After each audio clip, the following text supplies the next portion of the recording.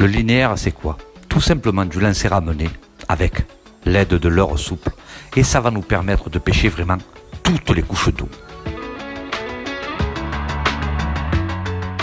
Ça fonctionne partout. Lac, fleuve, rivière, du bord en bateau. C'est vraiment la technique pour gagner du temps et trouver le positionnement des poissons. Il y a deux grands classiques, on va dire, en animation linéaire. Moi, j'aime bien attaquer de cette manière. J'attaque avec des grammages un peu élevés, type 15 grammes, 20 grammes, pour avoir une animation un peu agressive. C'est-à-dire le, plomb va descendre assez rapidement, le chat va descendre assez rapidement au fond.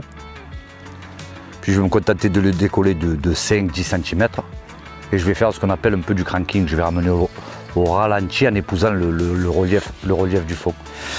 Mais en fait, cette animation-là est assez rapide parce que le plomb reprend contact rapidement avec le fond. Et on, peut appeler ça une, animation agressive. Si euh, au bout de 5, 6, 10 passages ou 15, suivant les zones, j'ai pas de touche, je vais commencer à descendre en grammage pour justement insister plus sur la zone.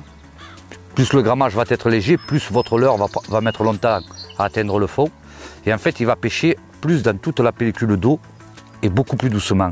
Il y a des moments, c'est vraiment cette façon-là qui prend le, le pas sur le- les grammages forts. Et la caudale du, du shad qu'on va utiliser, plus elle va être grosse, plus elle va, elle va, elle va retenir l'eau et plus le, le leurre va descendre lentement.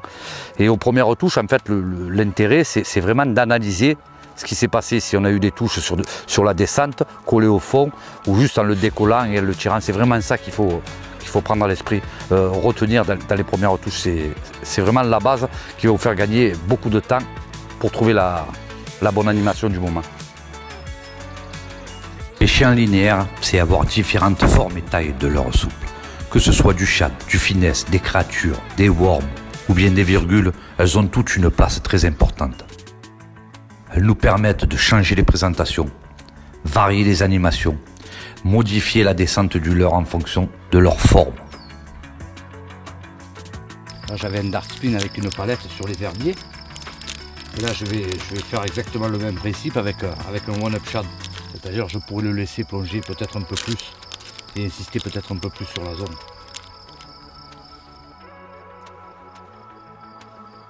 J'utilise deux modèles de cannes complémentaires. Une destinée au petit grammage et l'autre pour les grammages élevés. La longueur des cannes pour cette technique doit être comprise entre 2,10 et 2,50. Elles vont nous permettre de pouvoir lancer à grande distance et aussi avoir un meilleur ferrage.